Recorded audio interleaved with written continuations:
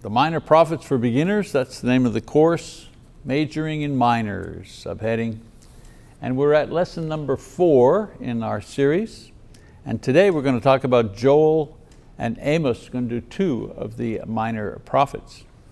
Before we get into it, I want to clarify some uh, information concerning the order and the time and the object of each minor prophet's uh, ministry as well as how they are to be read, like the order in which to read them.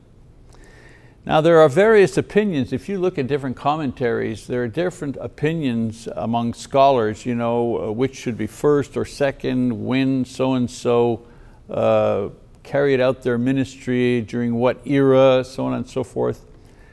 There are three possible periods that um, the minor prophets worked in, and here they are.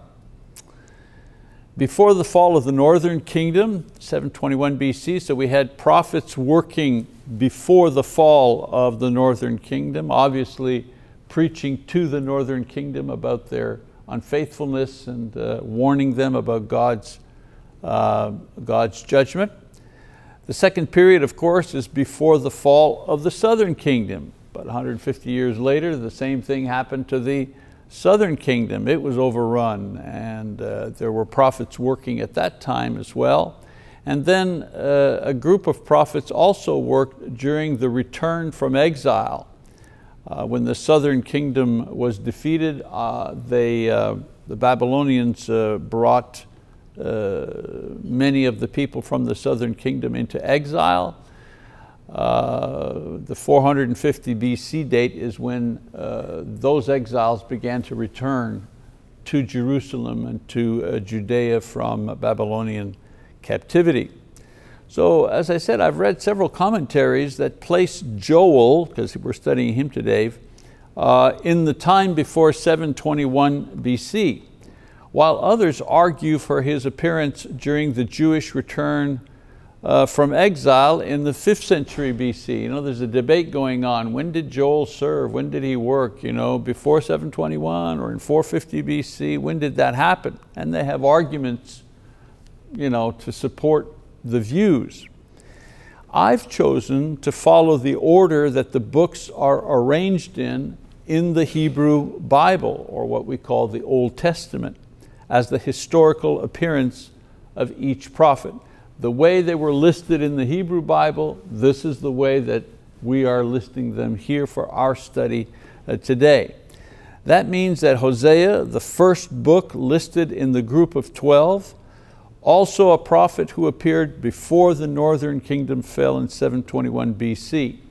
And so using this approach, the second prophet mentioned would also have lived and worked in and around this early date and not in the late period 450 BC as some scholars have suggested. I mention this if you happen to have Bibles that have notes in them that mention that Joel uh, worked uh, during the 450 BC, realize that that's one scholar's opinion. My point is the Jews, uh, the Jews who uh, originally uh, put together the canon of the Old Testament, put the minor prophets in a particular order, the order that they're listed in our, in our Bibles. And I figure, well, you know, they lived at the time. Uh, they were much closer to that period or those periods. Uh, so we're, uh, I think we're a little safer if we follow uh, that, uh, follow that order. And I had another thought about that uh, the other day, and that was when Jesus uh, was preaching, when Jesus was on earth, uh, he was uh, using uh, the materials where these 12 prophets were listed as they are today in our Bible. So if it's good enough for Jesus, it'll be good enough for us to follow that particular, that particular list. Okay, another feature of the minor prophets is that in the Hebrew Bible, all 12 of these prophets are included in one single book, and they're meant to be read in that way, with each prophet being a single chapter of a book with 12 chapters. We have 12 different books. In the Hebrew Bible, there's only one book with 12 uh, chapters. Aaron Ventura, who writes in his overview of Joel, says the following, and I quote, Often a book will begin by picking up where the previous one left off. For example, Joel ends his book with, uh, and he quotes, for the Lord dwells in Zion, Joel 3.21. And Amos, the next prophet, begins with, the Lord roars from Zion, Amos chapter 1, verse 2. So we uh, see here an example, one prophet finishes his prophecies, his work, the next prophet picks up where this one left off and uh, continues. So our study will review the same elements in each book. For example, we'll look at the prophet himself, his time, the message that he gave, the order of his book, and the main lessons uh, that we can draw from it. However, if we keep in mind that all of these were designed to form one overall book, one message, we'll be able to keep an eye on the bigger picture and the main message that all 12 are uh, bringing us. All right, now in our last lesson we studied the first of the minor prophets and that was Hosea and the unusual way that God made him act out in his own marriage and family life the unfaithfulness of Israel or the northern kingdom in its relationship with God. Today's class, we're going to continue with the next two prophets that are listed, and those are Joel and uh, Amos. So we begin with the, uh, the prophet Joel. His name uh, is a Hebrew word which means Yahweh is God, or the Lord is God. He lived sometime before the key date of the fall of the northern kingdom, 721 BC, and he may have been a contemporary of Hosea, the prophet who preceded him, and prophesied concerning the northern kingdom of Israel as well. However, Joel lived in the southern kingdom of Judah, and his message was directed at the people of the southern kingdom. Not much is known about his occupation or his background or his calling as a prophet. Don't have a lot of information, certainly not internal evidence. When we say internal evidence, we mean information that's in the Bible itself. There's not a lot of information about him in the Bible itself. We know somewhat of the time of his uh, ministry. Uh, no information is given about a specific historical time or is any king mentioned, although it is supposed, given his position in the list of the 12, that he lived during the reign of King Joash, 885 to 796 BC. It would make sense that Joel doesn't mention a king in his writings, since at that time Joash's grandmother, Athaliah, had crowned herself queen after having killed off all possible heirs to the throne. You'll note as we study uh, the minor prophets and the Old Testament in general that when one king died and another king rose or took the position, one of the first things they would do would kill off, was to kill off any, any potential, any, anyone who would threaten them you know, uh, uh, uh, obtaining and maintaining the throne was eliminated. Well, in this case, the queen eliminated, uh, eliminated all of the uh, potential suitors uh, to, the, uh, to the throne and she named herself the queen. However, Joash, her grandson, had survived uh, the coup and he was hidden and protected by the priests and other officials until he, as a legitimate descendant of King David, was crowned king when he was seven years old. So he was just a baby when this coup took place and this woman uh, took the uh, throne. Uh, he was hidden for several years and eventually he was crowned. This ended the reign and the life of his grandmother, Queen Athaliah, who had been the only woman to rule the Jewish people in history. Although Joash was formally crowned as king, because of his youth, the affairs of the southern kingdom were managed by the priests of the temple and other royal officials uh, uh, of the court until he could take full control. This may explain why Joel does not mention any king in his prophetic writings. You know, when we study Amos or Isaiah or any other of the prophets, they usually talk about the king who happens to be in power at the time to give us an idea of the time frame. But Joel doesn't mention any king, and my point is it's probably because his time was uh, during the coup when the, uh, the, uh, the woman uh, Athaliah had taken uh, the, uh, the throne. Joel's prophetic message Joel's book focuses its prophetic judgment on the southern kingdom of Judah with frequent references to Zion, Zion, and temple worship. Let's talk a little bit about this word Zion. We, we come up against it uh, quite often in the Old Testament, and we hear that word used today, Zion, Zionist. Zion, the root word for Zion is castle or highest point. The name of the Jebusite fortress that was captured by David in 2 Samuel 5 verses 6 to 9 and became the city of Jerusalem which contained the seat of military power because the royal throne was there, but also spiritual power because the throne was there. David was very wise. He combined both of these things in the same city.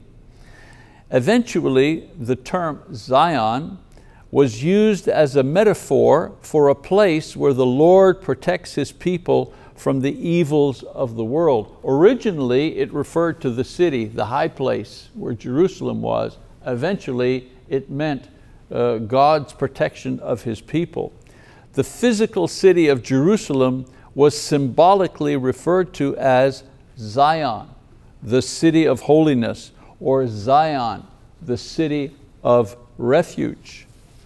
Because of its uh, status, the Jews who lived in Jerusalem believed that it was impenetrable by enemies. One of the reasons that the southern kingdom, the kings and the people of the southern kingdom were so stubborn uh, in listening to the prophets is because they couldn't believe that if you lived in Jerusalem, they couldn't believe that God would abandon Jerusalem. It was Zion, it was the high place, it was the castle, it was the place where God protected His people for, for centuries. Uh, it had this reputation.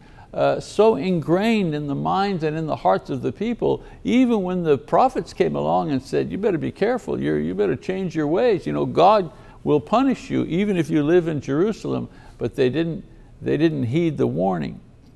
This also explains why the people of the southern kingdom did not heed the warnings of the prophets, thinking that God would never let Jerusalem, the holy city, the city of Zion, fall to uh, unbelievers, fall to Gentiles.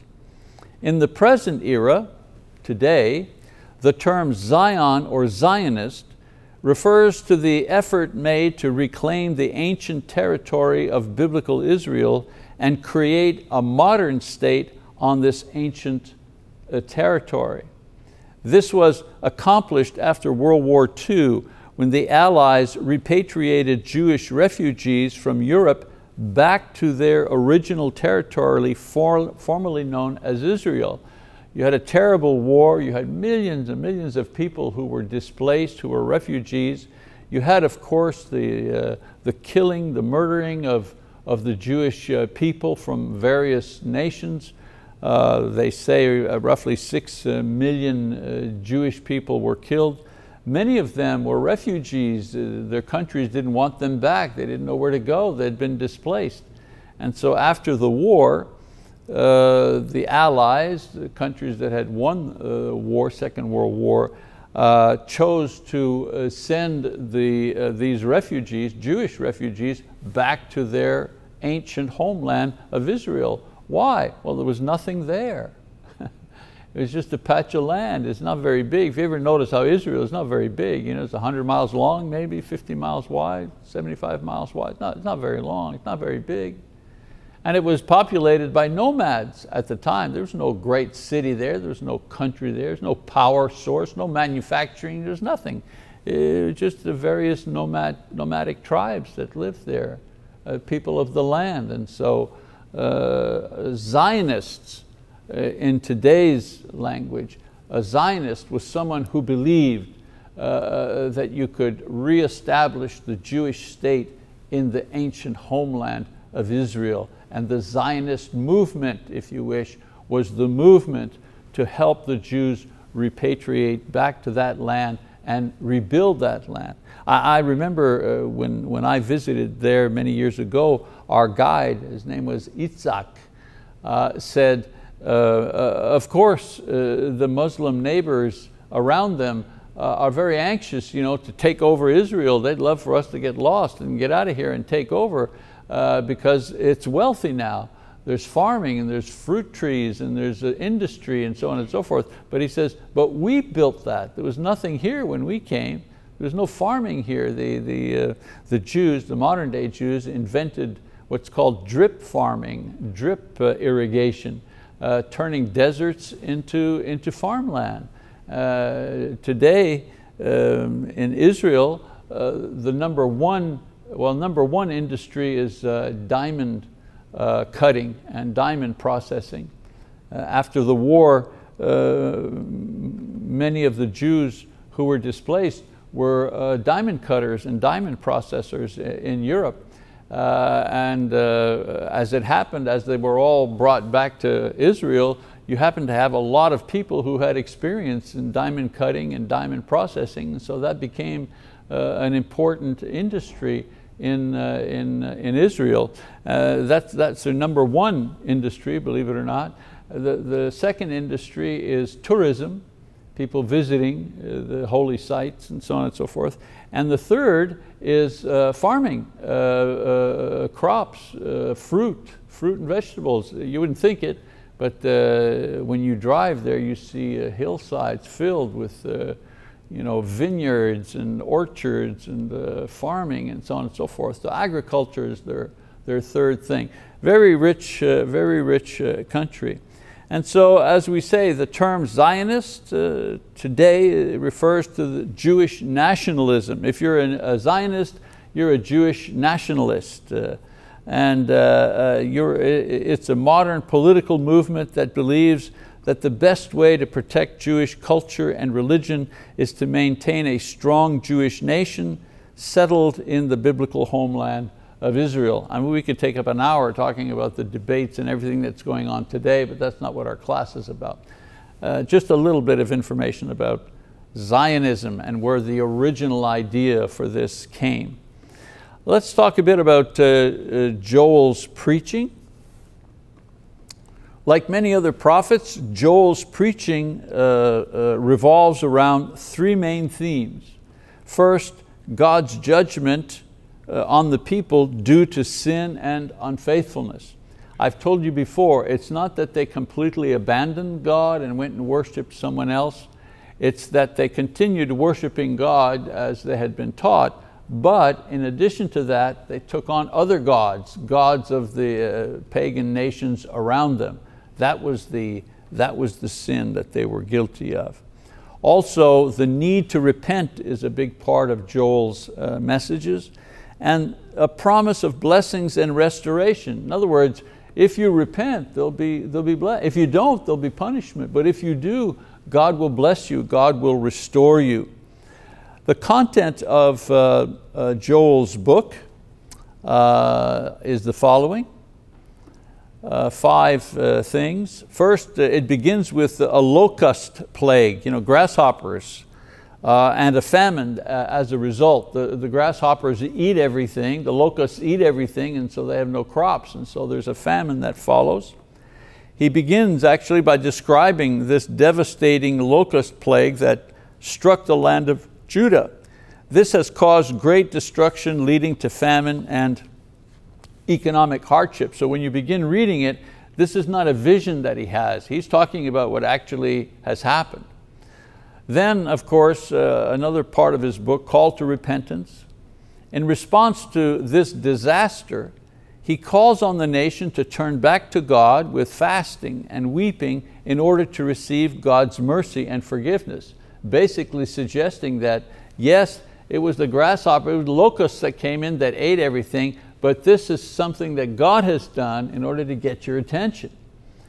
The third thing he talks about a lot is the day of the Lord, the day of the Lord. Joel prophesies about the day of the Lord, which refers to God's judgment which could uh, simultaneously refer to a present event or a near future event like the fall of the southern kingdom that would happen in a couple of hundred years, or a far future event like in 70 AD, the destruction of Jerusalem. That was the day of the Lord. When, when you know, uh, the locusts coming, that was the day of the Lord. The fall of the southern kingdom, that was the day of the Lord the destruction of Jerusalem by the Romans in 70 AD, that was the day uh, of the Lord. Or the end of the world when Jesus returns, that will be the day of the Lord. So that term, day of the Lord, is interchangeable and it means a judgment. It's sometimes a, a small judgment on one country, one people, sometimes a larger judgment on the world uh, in general. The flood, for example, that was the day of the Lord. Okay? Then of course he talks about the promise of restoration as do all the prophets. They always, they always uh, charge the, the nation with some kind of sin and want them to repent, but they always promise a restoration. Along with a warning of judgment, there is also a promise of both physical and spiritual blessings for those who repent. And then he talks about something interesting he talks about the outpouring of the Spirit. And we're going to read a passage here from Joel chapter 2, verses 28 to 32. It says, It will come about after this that I will pour out my Spirit on all mankind. And your sons and daughters will prophesy, your old men will dream dreams, your young men will see visions. Even on the male and female servants I will pour out my spirit in those days. I will display wonders in the sky and on the earth, blood, fire, and columns of smoke. The sun will be turned into darkness and the moon into blood before the great and awesome day of the Lord comes. And it will come about that whoever calls on the name of the Lord will be delivered. For on Mount Zion and in Jerusalem there will be those who escape, as the Lord has said, even among the survivors whom the Lord calls. So here, this is what we call a messianic prophecy. It promises that when the Messiah comes, everyone will have the Spirit of God enabling them to lead holy lives and serve God not only occasion, not only the prophets, not only the kings, not only special servants would receive the Spirit for a time, everyone would receive the Spirit and everyone would have the Spirit at all times. That was the great promise. The great promise was not that sins would be forgiven. Sins were being forgiven through the sacrificial system in the Old Testament.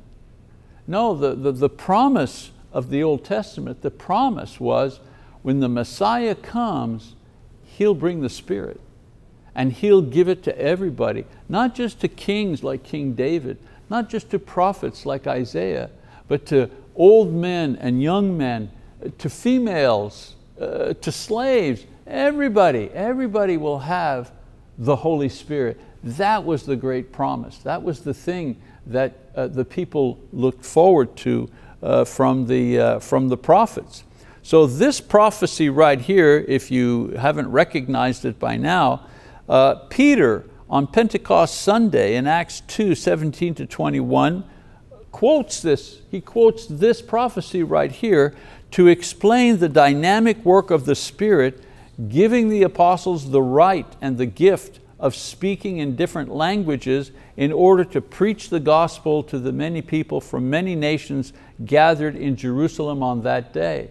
So basically Peter quotes Joel and he says, you see what Joel was promising here, that everybody would have the Spirit? Well, what we're doing, what the apostles are doing, speaking in tongues and signs and wonders, this is what Joel was saying. It's being fulfilled in us before your very eyes. And then he preaches the gospel, and the people say, well, what should we do? And he says, well, uh, well then uh, each one of you uh, uh should uh, uh, repent and, and, and, and be baptized for the forgiveness of your sins. Everybody understood that idea because John the Baptist had been talking about that all the time.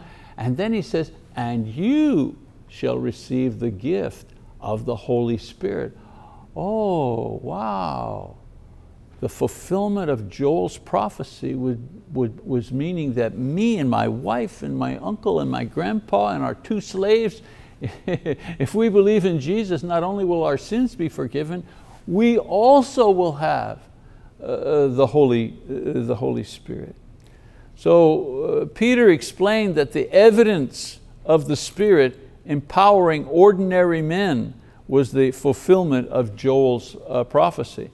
Not that ordinary men, all of them could do miracles, but that ordinary men could have the Spirit within them to help them live holy lives. If we learn anything about reading the Old Testament, is that God would give them instructions in order how to be holy and clean and you know, live a good life. And what would they do? Well, they'd mess up immediately and it, over and over. And, and, and they saw miracles and they had you know, God speak to them and they had the pillar of smoke and the pillar of uh, fire. You know, they were witnessing the miracles of God. And even with all of that, when push came to shove, they, they'd go back to their idols or they'd disobey or they'd go into some type of fornication or whatever. They couldn't live a holy life. Why? Because they were, they were in sin. And so the giving of the Spirit meant you now will be able to live a holy life. And Paul, Paul says in Romans uh, chapter 8, right? If by the power of the Spirit you're putting to death the deeds of the flesh. Well, you couldn't put to death the deeds of the flesh by the flesh. You needed the Spirit to put to death the deeds of the flesh. And this was the fulfillment of the promise that God made to the people. All right, so Joel's book is outlined, if you were to outline it, uh, five parts to the book, the locust plague and the call to repentance, Joel chapter 1, 1 to 20. The day of the Lord and the divine judgment, chapter 2, 1 to 17 the promises of restoration and the outpouring of the Holy Spirit that we've just been talking about, chapter 2, verses 18 to 32. The judgment on the nations and the final restoration, chapter 3, 1 to 17. Remember I said sometimes the day of the Lord is very narrow, one nation, one country, one people. Sometimes it's wider. And uh, in uh, Joel's book, Joel goes about denouncing the nations that surround Israel for their uh, paganism and so on and so forth. They're going to have their day of the Lord uh, according to Joel. And then the last part, the final deliverance and blessing for those who remain faithful to God, chapter 3, verses 18 to 21. A couple of modern day lessons that we uh, can uh, draw from this. Try repentance, why don't you? Try repentance, why don't you? The locust infestation, the broken economy, they were not only physical and natural difficulties, they were also an attention getter for people to examine their conscience. It was a way of, for God to say to the people, you mind trying repentance? Sometimes sickness and trouble are just challenges in life we have to meet and overcome like everybody else, we're just human. However, there are times when what's needed is not just quiet suffering, but rather a careful examination of our conscience and an honest review of our conduct to see if repentance on our part is in order. You know, when things are going badly and everything is falling apart and so on and so forth, of course, like you, I pray and I ask God, please help me do this and that. And I'm thinking maybe it's a, something I have to overcome, I have to persevere, it's a test. You know. But there comes a time when I also examine my own conscience and my heart. And I ask the Lord, is there something I'm doing that I need to stop doing? Or is there something that I've left undone that I need to do and you're using this to get my attention? Uh, that, that's a valid prayer, not in every case, but it's a valid prayer at times. It's not unheard of in this day and age that God permits trouble and thorns to force us to stop and review our thinking and conduct to see if some repentance is, uh, is in order. So that's the first lesson. Try repentance for a change. Number two, Joel's hope is our hope today. The hope that Joel spoke of then is still our hope today. Everyone can attain the pouring forth of the Spirit today by obeying the very same gospel preached by Peter, right? In Acts 2.37 and 8. Now when they heard this, they were pierced to the heart and they said to Peter and the rest of the apostles, Brethren, what shall we do? And Peter said to them, Repent, and each of you be baptized in the name of Jesus Christ for the forgiveness of your sins, and you will receive the gift of the Holy Spirit. The Spirit in every Christian is the agent who will raise us up to eternal life. Uh, I can't do miracles, I can't prophecy, and yet I have the Spirit. What good is the Spirit in me if I can't speak in tongues and if I can't heal the sick? Well, how about reading uh, Romans 8, 11, where Paul says, but if the Spirit of Him who raised Jesus from the dead dwells in you, he who raised Jesus Christ from the dead, well, who's the one? The Holy Spirit is the one who rose Jesus from the dead. If He is in you, uh, then He will also give life to your mortal bodies through His Spirit who indwells you. Very simple. If the Spirit that was in Christ who raised Him up from the dead, if He dwells in you, He'll do the same thing for you that He did for Jesus. That that is the gift of the Holy Spirit. The knowledge that we have the Spirit within us now that will ultimately raise us from the dead. How do we know? Well, we know because He raised Jesus from the dead. If He can raise Jesus from the dead, He can raise us from the dead. The Spirit in every Christian is able to do that. And then uh, one other lesson, God will make things right. In chapter three, Joel speaks of the judgment of the nations of that era that God would accomplish, especially of those people who had mistreated God's people in one way or another. This is a preview of the final judgment that God will perform at the end of the world when Jesus returns. We read in 2 Corinthians 5, he says, For we must all appear before the judgment seat of Christ so that each one may be recompensed for his deeds in the body, according to what he has done, whether good or bad. Therefore, knowing the fear of the Lord, we persuade men, but we are made manifest to God, and I hope that we are made manifest also in your consciences. So don't be dismayed by the seeming victory of evil over good in this world. Uh, don't be discouraged uh, when you see gross injustice or political corruption or public immorality and the celebration of all that is ungodly and unholy that you see every single day in the media. I mean, it's discouraging when you see it at times. God, through His prophets, promises that there will be a reckoning. There will be a reckoning. The destruction of both kingdoms after years of warning is the proof of God's judgment. Will God judge? Will He do what He said? Well, we have the proof in 721, He destroyed the northern kingdom, and then in 587, He destroyed the southern kingdom. Why? For the same type of things that we're doing today. Idolatry, immorality, uh, you know, exploitation of the poor and, and so on and so forth. So uh, let's not doubt uh, what the Bible says through uh, Joel. There will be a day of reckoning uh, and we as Christians need to be patient and wait for that time. In the meantime, uh, what is our task? To change the world? Nah. No, our task is to live holy lives. That's our task and to call the people in the world out of the world into the kingdom. Okay. All right, so that's enough for Joel. While we have the time here, we need to talk about our brother Amos, Amos the prophet. His name comes from the Hebrew word amas, which signifies carrying a burden or carrying a load. The significance of Amos's name is that it was a reflection of his real life's mission of carrying the heavy burden of responsibility of delivering a challenging and significant message from God to the people, calling them to righteousness and accountability before God. Amos uh, was a shepherd and a farmer from Tekoa, um, a small town in the southern kingdom located uh, 10 miles uh, south of Jerusalem. His prophetic ministry was directed at the northern kingdom. So he lived in the south, but his preaching was for the northern kingdom, even though he lived and worked in the southern kingdom.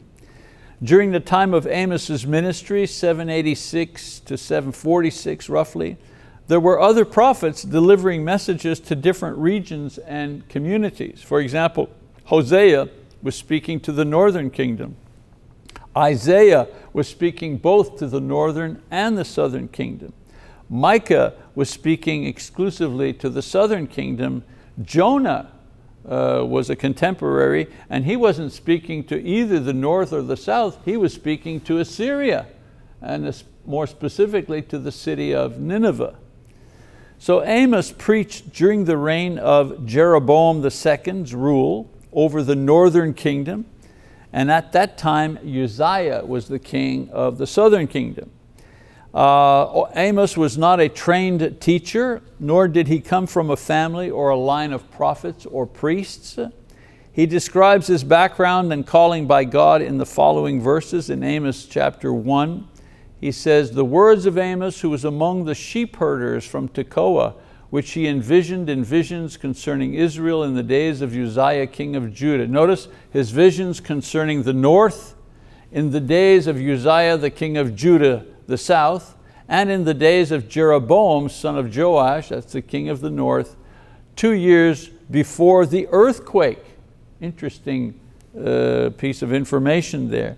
And then in uh, Amos uh, chapter seven, he says, then Amos replied to Amaziah, I am not a prophet, nor am I the son of a prophet, for I am a herdsman and a grower of sycamore figs.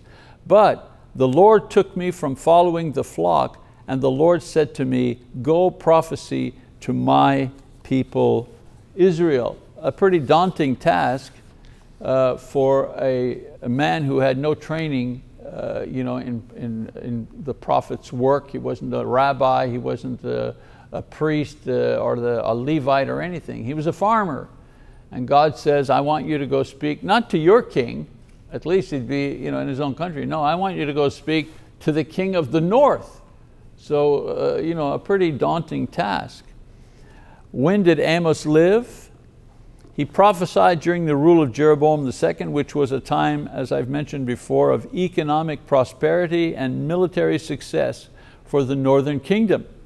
Jeroboam extended the borders of the northern kingdom producing more agriculture and trade and taxes. You know, military victories weren't just military victories. If you gained land, well that land could be used for agriculture or for, you know, for uh, shepherding, for sheep, for cattle, for whatever. So uh, when you uh, won land, it meant that you were increasing your nation's capacity uh, economically uh, Israel also enjoyed a period of peace, which allowed for a focus on internal growth and development. The Northern Kingdom also benefited from many trade routes across its territory, which produced wealth and resources into the kingdom. Taxes, taxes. You know, a guy wants to go from the top of your country to the bottom of your country using the main road, taxes you pay to, to cross the border, you pay toll tax and so on and so forth. So they were making a lot of money doing that. And then Jeroboam had established alliances with other nations with, and fostered political uh, stability. One of the things that God had, uh, had against him, instead of trusting God, he trusted his alliances for military security.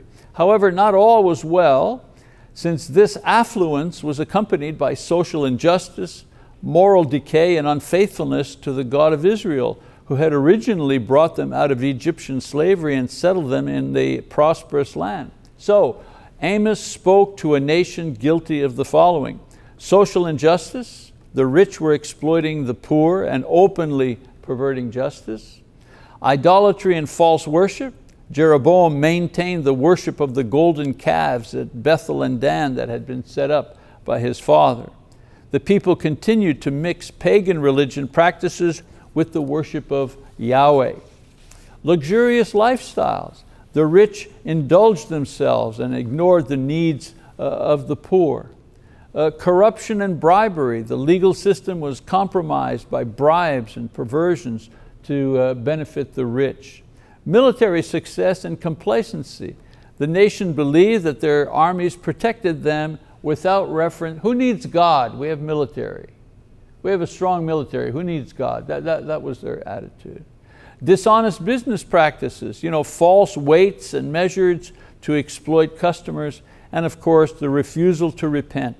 Despite the warnings of the prophets, the people continued in their sinful ways, refusing to turn back to God. So we have the uh, prophet's uh, message.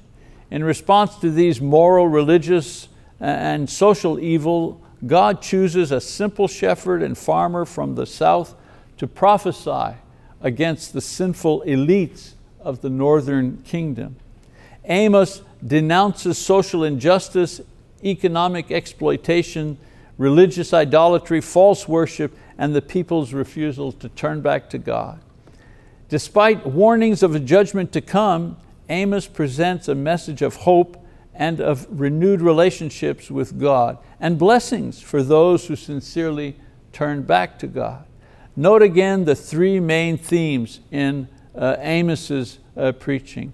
God's judgment due to sin, the need to repent, and then a promise of restoration and blessings for those who repent. It's always, you know, it's a different prophet, a different time. It's always kind of the same message. You know, pay attention, you're sinning, and if you repent, God will bless you.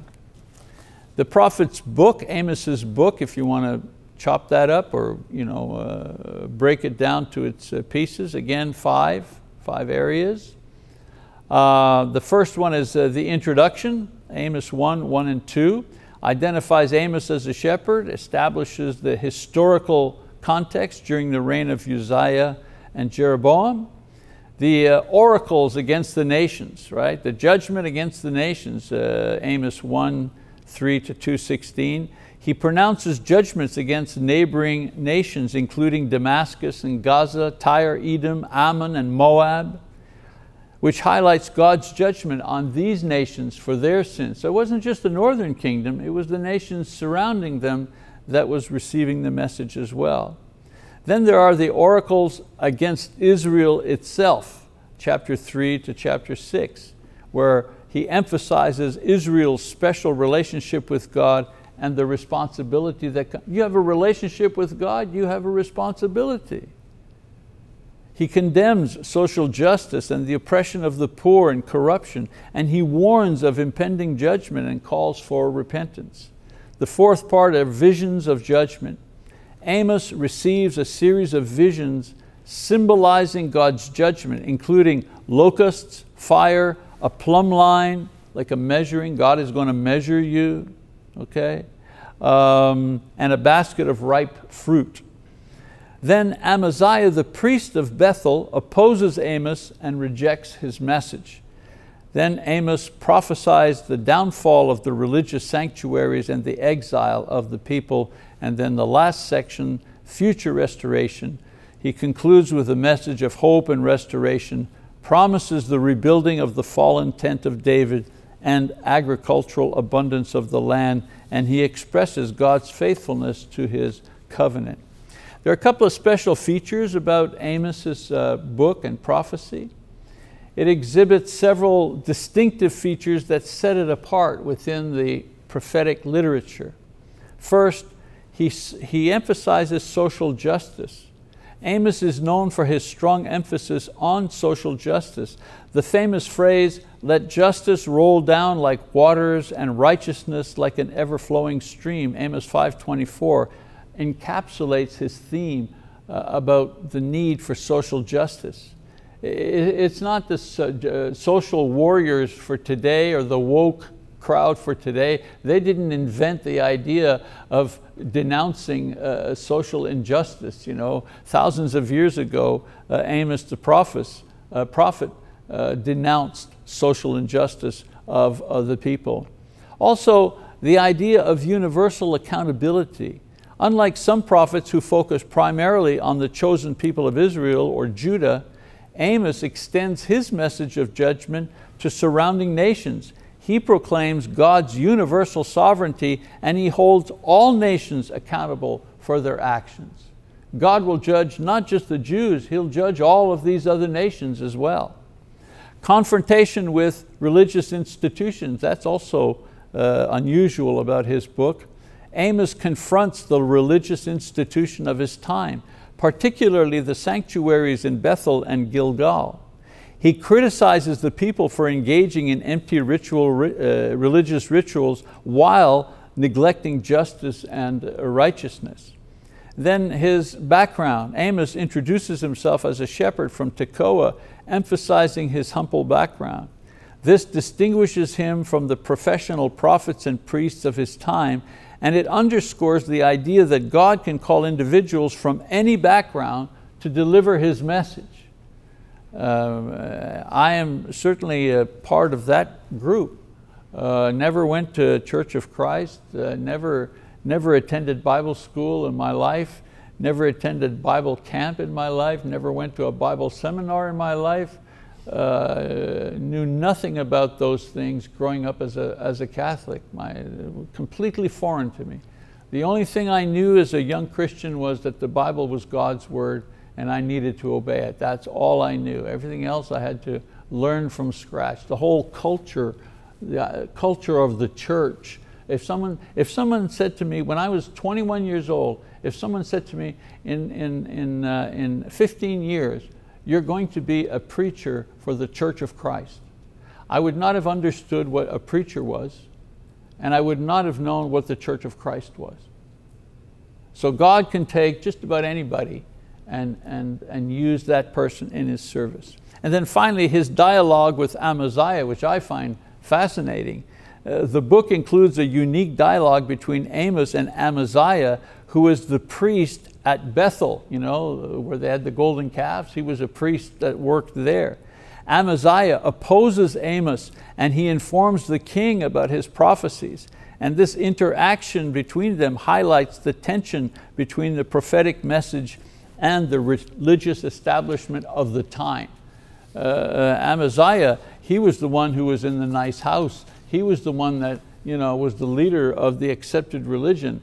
Amos was, he was a nobody, he was a farmer from the south. Who's going to listen to this guy? You know, so it's an interesting dialogue going on. Then a couple of lessons, each, each prophet, you know, we try to draw a couple of lessons as we finish out this morning. First of all, the commitment to social justice is not only for the politically minded. Amos's message highlight the importance of social justice in the eyes of God. Today, the call for justice and compassion remains relevant. As individuals and societies, we can learn from Amos to actively address issues of inequality, poverty, and exploitation. We're not just about repent and be baptized. We're not just about make sure you come to services on a regular basis. We're also about justice for the poor, justice for those who are being exploited. We're also about that as well, or we need to be. Our goal as the church is not political, it's spiritual. We want to reveal Christ by serving our society as Christ served His. We have no miraculous power to feed 5,000 with a few loaves of bread and fish, but we can feed those in need, we can visit the sick, we can comfort those who are in sorrow, we can stand up for what is right, we can speak truth to power, we can do that. Second lesson, Authentic worship is confirmed by actual righteousness. Amos condemned empty religious rituals divorced from genuine righteousness and ethical living in the contemporary context. The lesson is clear. Authentic worship extends beyond rituals to encompass how we treat other people and live out our faith. What good is it that we have no instruments when we have public worship? What good is that if we're not treating other people uh, in a Christian manner, in a loving way? You know, that, that's, uh, our worship is worthless if we can't do that. An actual approach to righteousness involves ethical conduct, compassion, and a genuine concern for the well-being of other people. This challenges us to align our beliefs with our actions and to live out our faith in practical, loving ways that prove in deeds our search for a maturing righteousness. People know that we're the people of God because we act like the people of God, not just in the church building, but uh, at, in business or at the ball game or wherever. And then finally, we are responsible for the vulnerable. Matthew 25 you know, has the great judgment scene where the people say, Lord, Lord, when did, when, when did we see you, uh, you know, sick or without a home or in prison, you know, and what does he say? Yeah, to the degree you've done this to the least of, of these, you've done it to me. Amos directed his attention to the plight of the poor and the vulnerable, challenging individuals and societies to take responsibility for those who are marginalized and oppressed. Today, we tend to leave this work to secular charitable organizations who do good but give no glory to God. The Red Cross gives no glory to God. The Red Feather Campaign gives no glory to God. The American Cancer Society gives no glory to God. They're all good associations. Uh, we can give to them. They're doing good work, but they give no glory to God. Only the church is involved in benevolent actions and gives glory to God. And that's what's supposed to be happening. The benevolence ministry of the church should be as dynamic as the evangelism or the worship ministry because it's in this area of ministry that we put to the test the sincerity of our worship rituals and the truth of our message. And what good is it we spend $4 million building a big uh, building auditorium with a fancy stage and lots of lights and the, the latest uh, tech equipment and all this to worship God, but we don't have any food ministry. We have nothing to give the poor who knock on our door asking for help, for food. What, what good is all of that if we don't do the other? Uh, much better that we remain in a humble location uh, uh and put more effort and money into helping those who are poor and those who are disenfranchised. If God gave His Son so that we might be saved, we should be able to give up much of our resources to lessen the pain of those who are suffering in this world. In this, God is glorified. And we also need to remember that God can and does use anyone in any way to glorify Himself. All deeds done to those who are uh, poor or suffering in the name of Christ glorifies God, the smallest to the largest. A, a short visit, a note to paying their rent, buying them food, all of these things give glory to God and legitimize our, our worship. It's good that we worship according to the New Testament, but we also have to do benevolence according to the New Testament as well. They work together, these two things. Okay, that's our lesson for this morning. Homework, reread Joel and Amos if you haven't. If you have, reread it, and now with this information, hopefully it'll be more meaningful for you. And then next week we're going to do not two, but three Obadiah, Jonah, and Micah. Read those three. We're going to begin uh, Obadiah. Okay, that's our lesson for today. Thank you for your attention.